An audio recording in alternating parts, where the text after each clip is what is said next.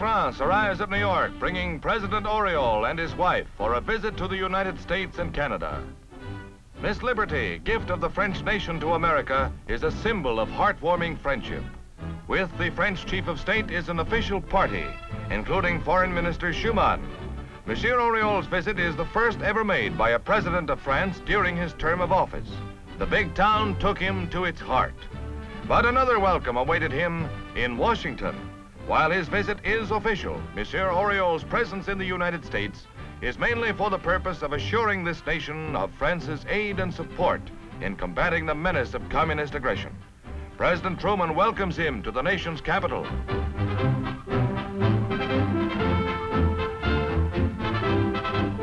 The leaders of the two great countries, whose combined aim is the maintenance of democratic principles, leave for Blair House. Glory and the tricolor fly proudly as the parade down the historic avenues of the city gets underway.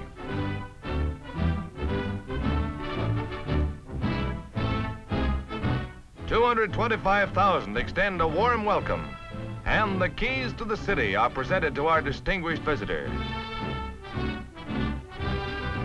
The foe of Hitlerism and communism tells of his country's friendship for America.